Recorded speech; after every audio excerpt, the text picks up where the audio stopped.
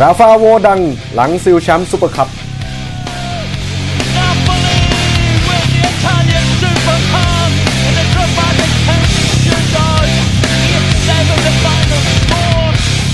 เบงกอลส์อัดบรองโกสเข้าเพลย์ออฟ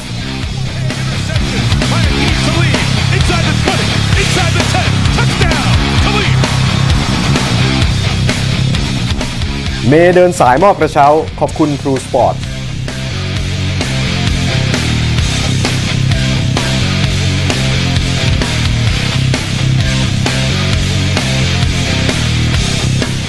ดีครับ สวัสดีครับยินดีต้อนรับคุณผู้ชมครับ เข้าสู่รายการ Sport Today นะครับ ประจำวันอังคารที่ 23 ธันวาคม 2557 ครับ ครับ ก็อยู่กับคุณปฐมภพอินบำรุง แล้วก็ผมพิธนัทจำปาเงิน ก็เป็นการโคจรมาเจอกันครั้งแรกของเราทั้งสองคนใช่ครับครับผมนับว่าเป็นนิมิตหมายที่ดีต่อรายการดีมากเลยครับครับเกิดมาผมคบกันนิดหน่อยครับผมตามสไตล์คนนานๆเจอกันทีครับผมนะครับแต่ว่ารายการเราก็ยังเหมือนเดิมครับวันนี้ 1 ชั่วโมงนะครับ19นาฬิกา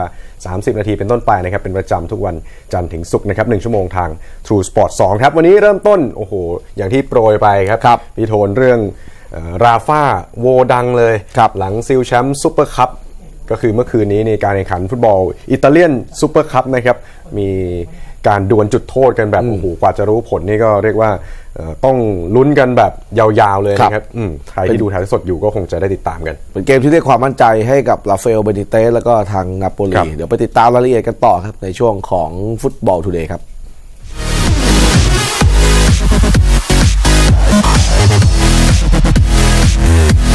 ราฟาเบนิเตสครับผู้จัดการทีมนาโปลียอมรับว่าเกมที่นำลูกทีมเอาชนะด้วยการดวลจุดโทษเหนือทีมยูเวนตุสคว้าแชมป์อิตาเลียนซูเปอร์คัพมาครองได้สำเร็จว่าเป็นเกมที่ดีที่สุดในชีวิตการคุมทีมของเขาเลยนะครับการแข่งขันเมื่อคืนนี้ที่กรุงโดฮาประเทศกาตาร์ครับนาโปลีครับในฐานะ ทีมที่มาแบบเป็นแชมป์ของโคปาอิตาเลียเนี่ยก็เสมอกับยูเวนตุสแชมป์กัลโช่เซเรียอาสองประตูต่อ 2 ในช่วง 120 นาทีนะครับ ก่อนที่จะดวลจุดโทษเอาชนะไปได้ 6 ประตูต่อ 5 ครับ คว้าแชมป์รายการนี้เป็นครั้งแรกตั้งแต่ปี 1990 ครับ โดยที่ราฟากล่าวว่านี่คือเกมที่ดีที่สุดเกมหนึ่งในชีวิตครับ การชนะทีมอย่างยูเว่ได้ถือว่ายอดเยี่ยมมากๆ แล้วก็ขออุทิศแชมป์รายการนี้ให้แฟนๆที่ตามมาเชียร์ครับ และแฟนๆของทีมที่รับชมผ่านการถ่ายทอดสดด้วยนะครับ ขณะที่ทางด้านของฝั่งผู้แพ้อย่างมักซ์อัลเลกรีเทรนเนอร์ของทีมยูเวนตุสก็ออกปากเสียดายครับที่พลาดโอกาสคว้าแชมป์แรกในการทำงานกับทีมยูเว่นะครับเกมนี้ทั้ง 2 ฝ่ายต่างเปิดเกมเข้าหากันครับ โชคร้ายที่ทีมของเขาต้องมาเสียประตูก่อน หมดเวลาเพียงแค่ 2 นาทีนะครับ นอกจากนั้นในการดวลจุดโทษเนี่ยยูเว่มีโอกาสที่จะปิดเกมได้ถึง 3 ครั้ง แต่ว่ากลับยิงพลาดไปหมดเลยนะครับ นอกจากนี้อเลกรียังปลอบใจลูกทีมว่าเล่นกันได้ดีแล้วครับ พวกเขาเกือบได้แชมป์จนกระทั่งเหลือเพียง 2 นาทีจะหมดเวลาครับ อย่างไรก็ตามพวกเขายังมีความหวังลุ้นแชมป์อื่นๆครับ เพราะว่ายูเวนตุสเองก็ยังเป็นจ่าฝูงกาโชเซเรียนะครับ เป็นแชมป์หน้าหนาวไปด้วยครับ แล้วก็ในศึกยูฟ่าแชมเปี้ยนส์ลีกนี่ก็เข้าถึงรอบน็อกเอาท์ได้สำเร็จครับ เรียกว่าดราม่าสุดๆ ครับเมื่อคืน กว่าที่นาโปลีจะชนะได้นี่ตามตีเสมอในช่วงท้ายเกมนะครับ ยืดเยื้อไปถึงช่วงต่อเวลาพิเศษ แล้วก็ช่วงโดนจุดโทษ อย่างที่รายงานไปเมื่อสักครู่สำหรับใครที่ไม่ได้ดูนะครับ มีอยู่ถึง 3 ครั้งที่ยูเว่ถ้ายิงเข้าจะชนะแต่ยิงพลาดไปหมดสุดท้ายเหมือนชะตาลิขิตให้ครับนาโปลีก็คว้าแชมป์ไปครองนะครับนี่ประธานสโมสรนาโปลีนี่ลงไปอยู่ในพิธี มอบถ้วยรางวัลด้วยตัวเองด้วยนะครับ ใช่ครับออเรลิโอเดลาเรนติสนะครับที่ก็ยังไม่การันตีอนาคตของราฟาเบนิเตสนะครับครับแต่อย่างน้อยๆการคว้าแชมป์นี้ได้ก็น่าจะทำให้เอ่อเอลราฟากับนาโปลีนี่น่าจะคุยกันรู้เรื่องให้มากขึ้นเหมือนกัน นี่คือทำเนียบแชมป์ซูเปอร์โคปาอิตาเลียนานะครับที่ยูเวนตุสเป็นแชมป์มากสมัยที่สุดร่วมอยู่กับเอซีมิลานที่ทีมละ 6 สมัยแต่ว่ายูเว่ก็พลาดโอกาสนะครับที่จะเอ่อทำสถิติเป็น ทีมที่ครองแชมป์ได้มากที่สุดแบบเดียวๆครับขณะที่นาโปลีนะครับแชมป์ปีนี้เนี่ยเป็นสมัยที่ 2 ของพวกเขาต่อจากปี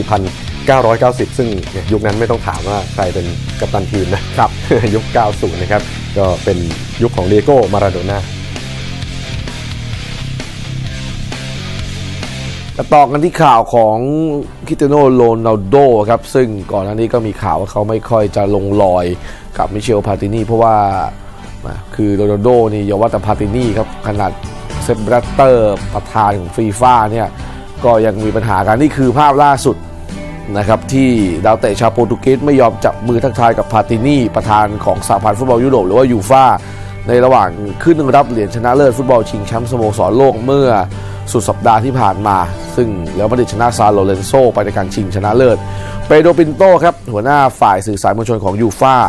ออกมาปฏิเสธข่าวการไม่ลงรอยกันระหว่างโรนัลโดกับพาตินี่ครับ โดยที่บอกว่าข่าวดังกล่าวไม่เป็นความจริงแต่อย่างใดครับโรนัลโดได้กล่าวทักทายกับพาตินี่เรียบร้อยแล้วในช่วงที่เดินเข้าไปรับรางวัลลูกบอลเงิน และ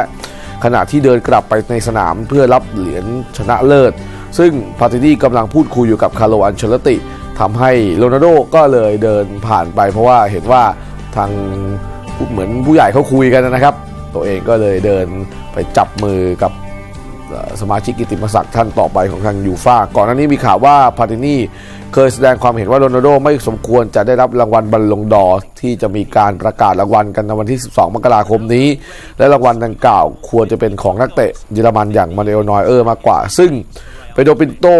ได้เปิดเผยว่าพาตินีก็รู้สึกเศร้ากับการแสดงความคิดเห็นในเรื่องนี้ เพราะว่าหลาย ๆ คนเอาไปตีความกันผิดนะครับ และคิดว่า เขาเนี่ยไม่ชอบโรนัลโดเป็นการส่วนตัว ทั้งๆที่จริง ๆ แล้วก็เป็นการแสดงทัศนะตามความเห็นของคนที่คุกคีตีโมงอยู่ในวงการฟุตบอลเท่านั้นนะครับครับ คนก็อาจจะจับโยงได้ เพราะว่าก็ครับจับจ้องกันอยู่แล้วนะครับ คือโรนัลโดเนี่ย ถ้าไม่ถูกกับทั้งแบตเตอร์ทั้งพาตินี่ตัวเขาเองก็แหมโอ้โห กับผู้หลักผู้ใหญ่ซึ่งใหญ่สุดของโลกกับใหญ่สุดของยุโรปนี่ถ้าแบบโรนัลโดไม่ไม่แล้วก็ไม่ถูกกับใครเลยนี่ก็เหมือนจะดูดูยังไงยังไงนะครับโรนัลโดก็ Same city. คว้าแชมป์ได้เป็น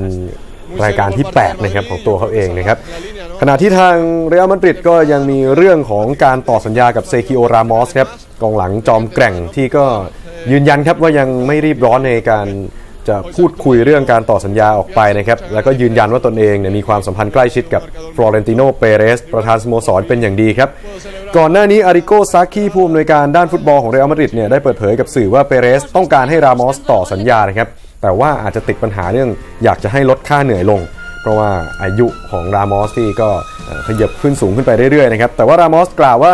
เป็นเพียงการพูดคุยส่วนตัวระหว่างเขากับซากิเท่านั้นนะครับ ซึ่งเขาไม่เคยพูดถึงเรื่องการต่อสัญญากับซากิแต่อย่างใดคือคุยเรื่องอื่นกันว่าอย่างนั้นเถอะนะครับอย่างไรก็ตามเขาเข้าใจดีว่าซากิไม่ได้มีเจตนาร้ายในการเผยแพร่ข่าวนี้ต่อสื่อครับ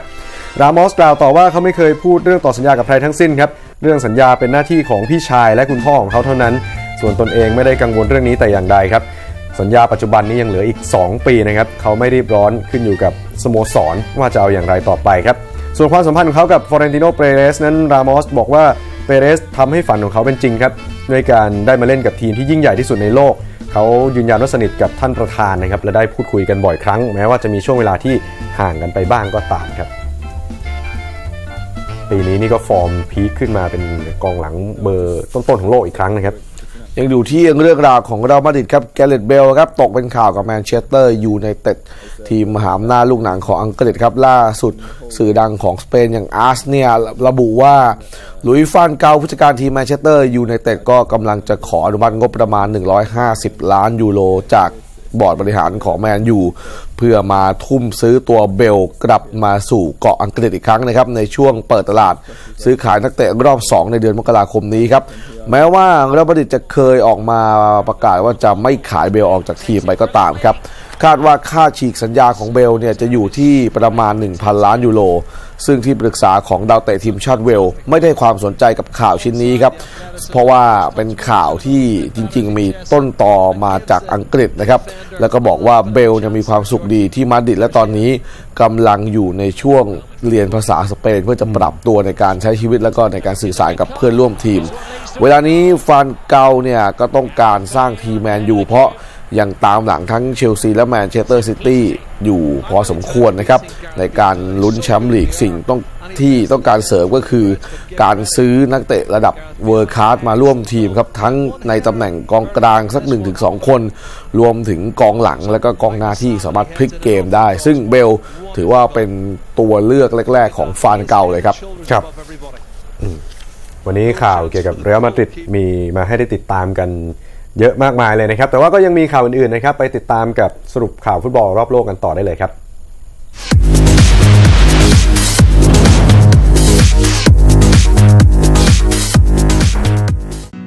เรอัลมาดริดเลิกให้ความสนใจคริสตอฟเครเมอร์มิดฟิลด์ทีมชาติเยอรมัน ชุดแชมป์โลก 2014 แล้ว เนื่องจากนักเตะตัดสินใจต่อสัญญากับเลเวอร์คูเซนออกไปอีก 2 ปี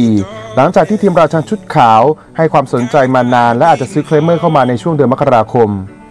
เครเมอร์ปัจจุบันอยู่ในสัญญายืมตัวลงเล่นให้กับกลัดบัค เขาได้ตัดสินใจต่อสัญญากับต้นสังกัดไปจนถึงปี 2019 ซึ่งเครเมอร์กล่าวว่าเขาไม่ลังเลที่จะต่อสัญญากับเลเวอร์คูเซนเพราะเขารู้จักทุกๆ คนที่นั่นมาตั้งแต่เด็ก และหวังจะได้ให้กับทีมชุดใหญ่ มาเตย่านัสตาซิชกองหลังของแมนเชสเตอร์ซิตี้กลายเป็นนักเตะเนื้อหอมเมื่อลาซิโอยูเวนตุสและอินเตอร์มิลานต่างต้องการตัวเขาไปร่วมทีม ซึ่งอดีตกองหลังของฟิออเรนติน่าตกเป็นข่าวกับทีมในเซเรียอาตลอดหลายเดือนก่อนเปิดฤดูกาลรวมทั้งข่าวลือมากมายในช่วงเดือนมกราคมที่จะมาถึง อินเตอร์มิลานกลายเป็นทีมที่มีลุ้นมากที่สุด เพราะว่าตอนนี้พวกเขามีโรแบร์โตมันชินีนายเก่าคุมทีม อย่างไรก็ตามยูเวนตุสสนใจนัสตาซิชด้วย เนื่องจากว่ามีปัญหาเพราะอันเดรียบาร์ซายีบาดเจ็บกาเซต้าระบุว่าลาซิโอคือทีมล่าสุดที่ให้ความสนใจ เนื่องจากอาการบาดเจ็บที่รบกวนของซานติอาโก เจนติลีเซอร์ดิเด็กซิมแมนปฏิเสธข่าว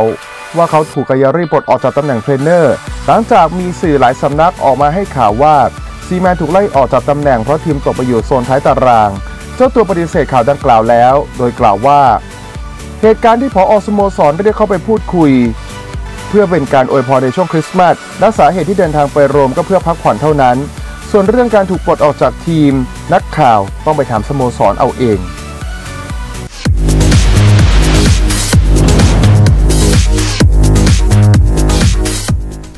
อืมแล้วเดี๋ยวช่วงหน้านะครับจะเป็นเรื่องราวของผลกีฬารอบโลกครับ ซึ่งไฮไลท์ก็อยู่ที่เอ่อ NFL นะครับ ซึ่งช่วงนี้แต่ละทีมก็ทยอยเข้ารอบเพลย์ออฟกัน โดยที่ซินซินนาติเบงกอลครับเป็นอีกทีมครับที่ตบเท้าเข้ารอบเพลย์ออฟได้สำเร็จนะครับ